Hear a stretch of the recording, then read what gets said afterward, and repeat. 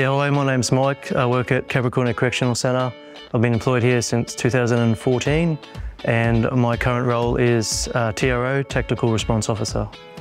I was able to bring a lot of my previous roles, experience in dealing with the general public and talking to people and to implement it in my role here.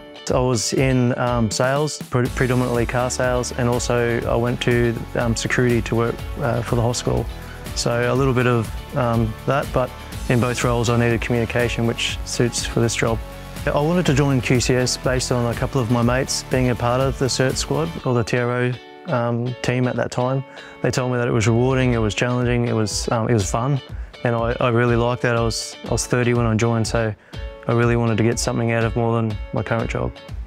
Yeah, so uh, my day-to-day -day duties inclusive uh, managing prisoners, um, uh, making sure they're getting to activities, their programs, things like that.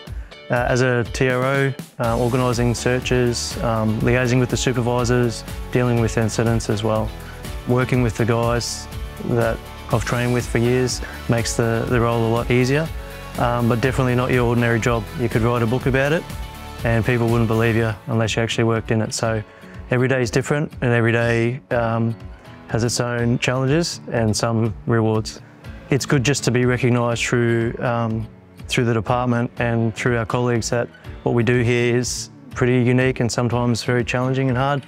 Yeah, I believe communication is, is essential part of this role. I don't judge them or what they do. I treat them um, normal. I give them respect and usually that's, you know, you get that respect back. So it's a bit of a two-way street and communication, I guess, can help set up your day, good or bad, so it's a very important thing. I've got a small little family um, and we love to, to go camping, caravanning, love the beach and I don't mind the gym as well, so um, I'm very family orientated. I'll make that my priority.